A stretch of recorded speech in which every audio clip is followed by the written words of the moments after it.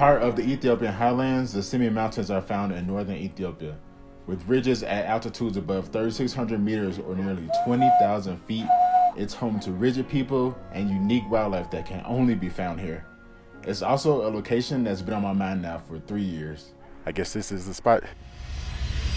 We're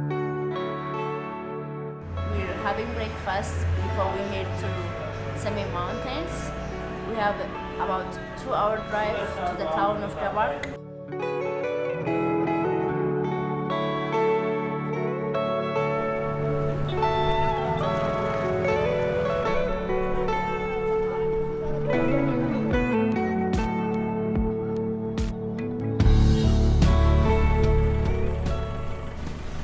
How do you feel about being back in the Simien Mountains? Oh my god. I love it. Woo! Woo!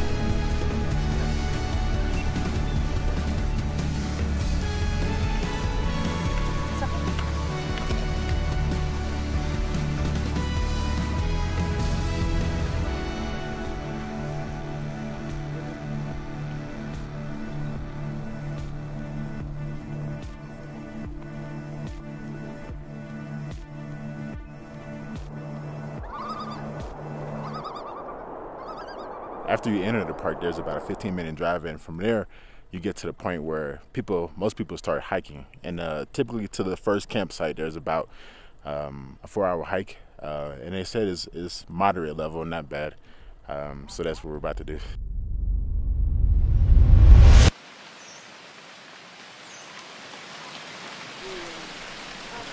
We plan and God laughs.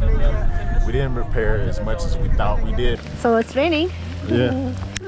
in the middle of a hike. I wasn't prepared. It's not raining, it's hailing. The second I wasn't prepared for the rain. Um, so now we're driving back to our campsite. But it's okay because there's plenty of opportunities to hike. Um, maybe later, uh, but definitely in the morning. Uh, so just rolling with the punches.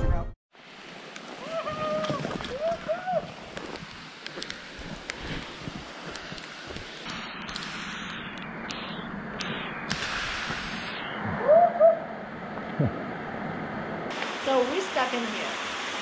I wouldn't call it stuck. The, we're here and we're not supposed to be here.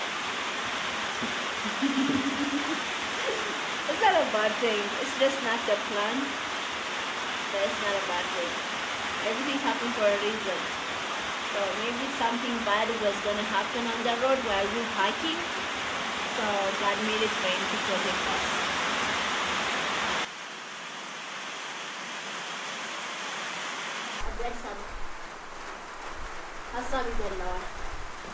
Steve, come here.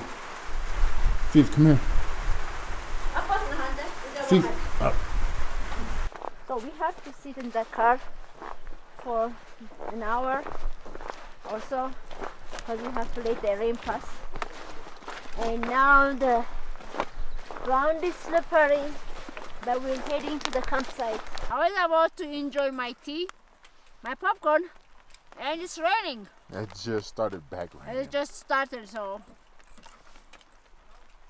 Are you having fun? I am a little bit chilly, but I'm, I am fun, having fun. Good. There are many highlights in the Simien Mountains, the main two being the landscape and the wildlife. The wildlife include the gelada monk, ba- monkeys or baboons? Gelada baboons.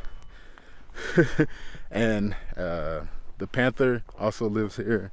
Um, a red fox lives here, and uh, and also hyena, yeah, and also several um, several species of birds. Um, so I'm hoping we see all of them.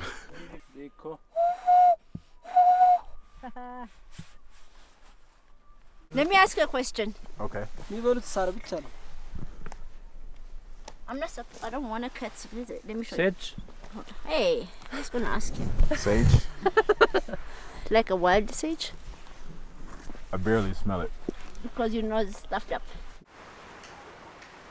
You still cannot say your name. That's not true. Me too, I can't say his name. Yeah, I cannot pronounce your name. That's not true. Uh, uh,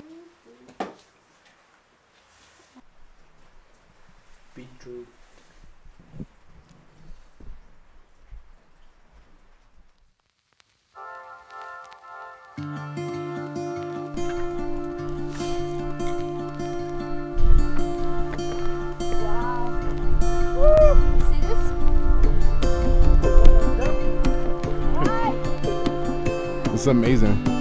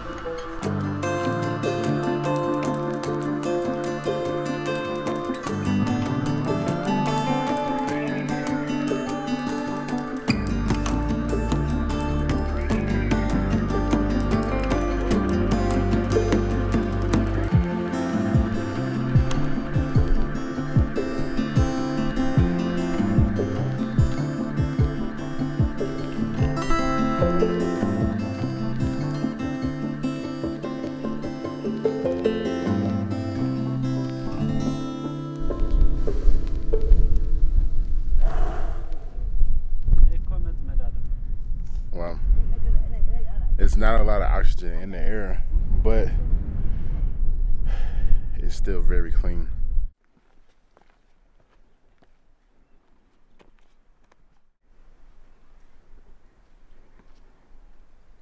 Oh my god. Okay.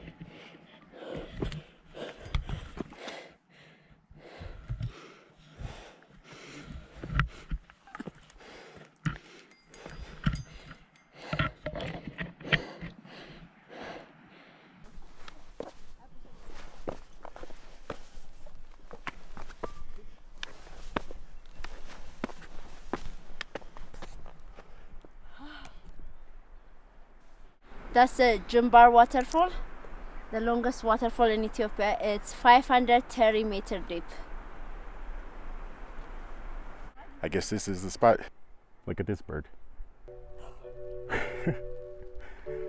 Fifi. Um, we've been through a lot of things together.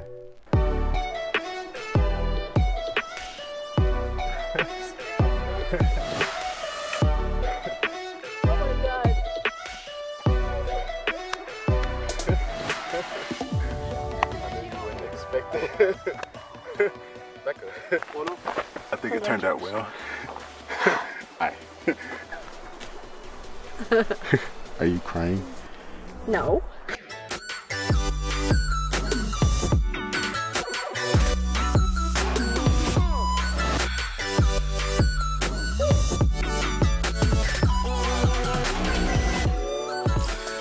Well, that's pretty much it. We hope you all enjoyed. We would like to thank our generous Patreon members, Samuel Holmes and Bed Wang. Your support really helps this channel grow. If you made it to the end of this video, we want to thank you as well. And we would also like to ask you to like this video so that we can reach more people. Okay, so we hired a tour guide to make the whole process a lot easier. Our tour guide Sahle took care of us the entire trip. He hired a cook, scout, and driver with his own car to accompany us the whole duration. If you do go with the tour guide, the cook position is a necessity if you plan on bringing your own food. So, Sahle's information is in the description if you're curious. Since we were already in Gondar, it was only a two hour drive to Debark, where we picked up our cook and scout. Typically, most people visiting the mountains hike its trails with their guide and scout.